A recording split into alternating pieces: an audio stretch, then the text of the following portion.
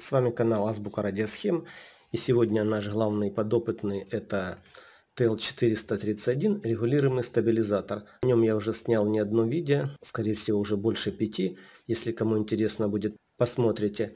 Сегодня мы поговорим о том, как на нем можно сделать регулируемый стабилизатор тока. О том, как сделать регулируемый стабилизатор напряжения, я уже рассказывал. А сегодня разберемся, как сделать стабилизатор тока. Вот он у меня собран. Я его специально прикрыл для того, чтобы было более интересно. Конечно, я потом все открою, покажу схему, покажу. Сначала мы посмотрим, как он работает. И вот его блок-схема. Итак, у нас есть регулируемый блок питания, в котором напряжение регулируется от 1 вольт до 20 почти. И вот эта плата, где расположены наши детали по определенной схеме, включая наш TL431. Выходит регулятор тока. Вот он. Два провода и в разрыв цепи включен вот этот прибор, который включен в режиме измерения тока. Вот эти два вывода. Красный и синий это плюс и минус, которые выходят с нашей этой платы. В разрыве прибор, вот он подключен. Итак, чтобы понять, что такое стабилизатор тока, давайте проведем такой эксперимент. У меня два подопытных светодиода. Кто помнит, какие токи у светодиодов такого, такого формата? Ну, как правило, ну, как правило, до 20 миллиампер. Для этого... А, вот еще один приборчик. Здесь показывают наше, напря... наше напряжение, которое приходит с регулируемого блока питания. Сейчас стоит по максимуму 18 вольт. Я его уменьшу ну, пускай 3 вольта. 3 вольта стоит на вот этом нашем источнике напряжения. Что я буду делать? Я замыкаю вот эти наши два выходных щупа. И по вот этому прибору выставляю ток, который мне нужен для питания светодиода. Я могу выставить и более большие токи, и более маленькие. Но мне нужно, чтобы ток был не более 20 миллиампер ну, допустим, 15, почти 16 миль.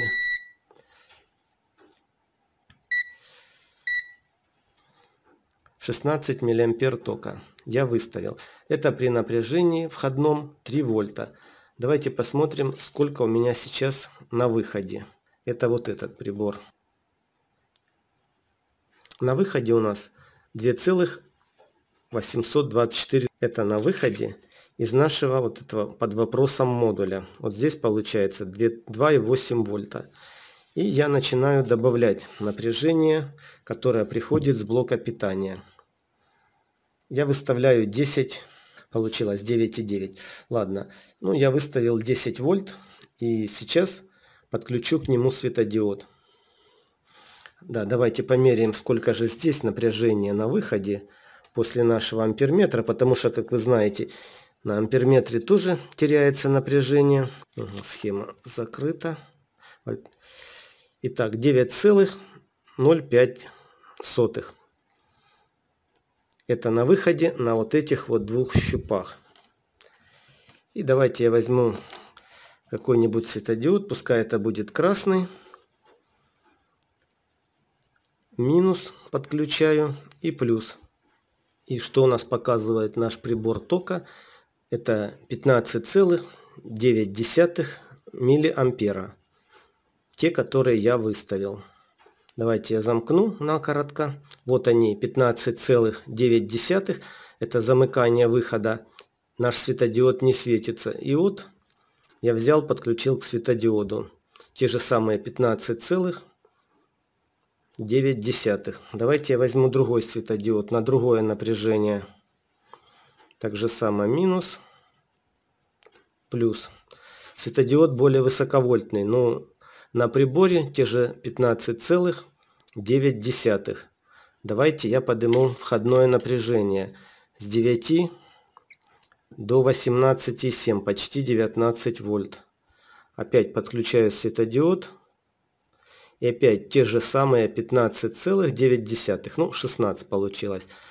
Наш ток застабилизирован. Давайте я последовательно два светодиода включу. Светятся два светодиода и наш ток те же 16 миллиампер.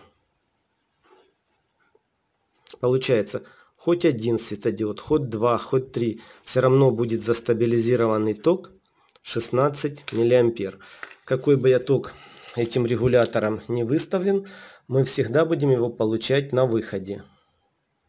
А теперь давайте посмотрим на саму схему, которая здесь спрятана. Вот эта схема.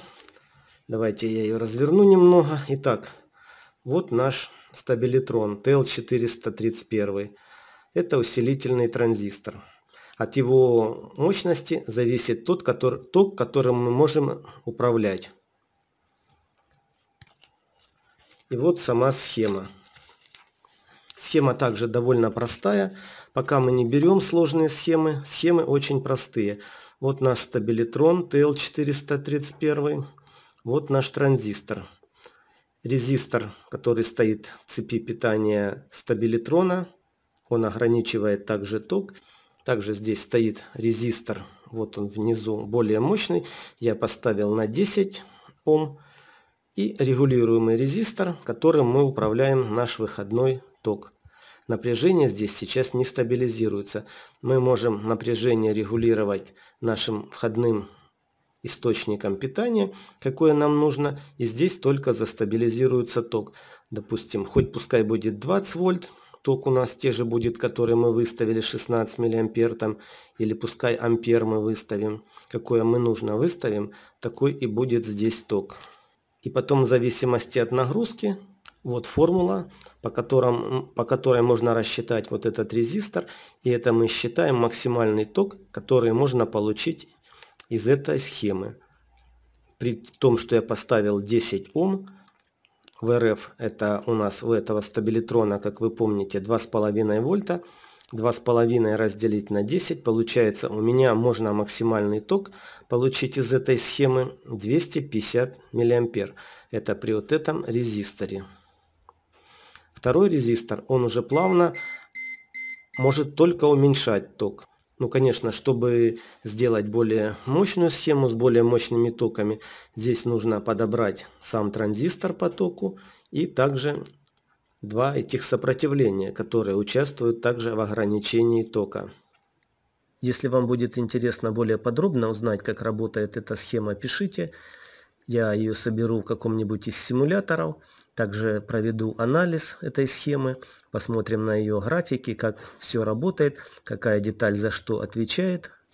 Также поговорим о том, где реально можно применить схемы стабилизаторов тока, потому что они используются реже, чем стабилизаторы напряжения, хотя им тоже можно найти ряд интересных применений.